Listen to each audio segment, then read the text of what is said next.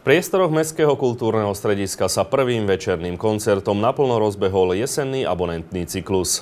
Priaznivci si prišli na svoje, keď sa predstavila nádejná sopranistka Linda Melenová. Útorok 9. oktobra patril vo výstavnej sieni Mestského kultúrneho strediska prvému koncertu jesenného abonentného cyklu. Výstavnou sieňou sa tak niesli skladby od známych skladateľov a celú atmosféru dotváral hovoreným slovom Ulrich Ullmann. Na dnes som si pripravila prevažne slovanský repertoár, hlavne piesňový, ale to Verdiho, Ameliu alebo uh, Áriu Adriany od uh, Francesca Chile.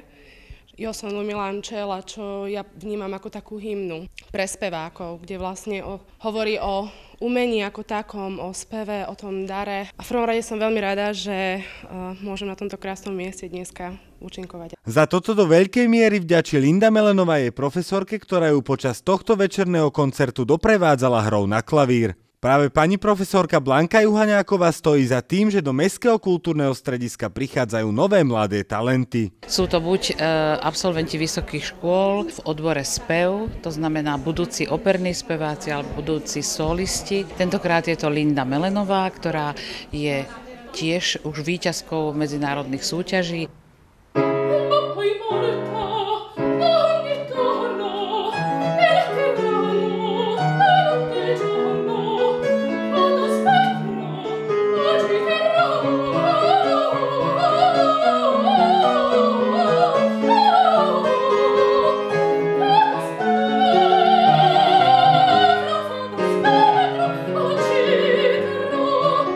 Linda Melenová sa tak už teraz ako študentka môže popíšiť viacerými úspechmi. Medzi také najaktuálnejšie úspechy by som mohla zaradiť tretie miesto na medzinárodnej speváckej súťaži Eržebet Házy v Nových zámkoch, a, ktorá sa konala pred dvomi týždňami. Chystám sa na ďalšie súťaže, uvidíme, aký bude ich výsledok. My veríme, že prídu úspechy aj v ďalších súťažiach a takisto, že v sieni Mestského kultúrneho strediska budú priaznivci takýchto koncertov svetkami ďalších vystúpení začínajúcich talentov z oblasti hudby.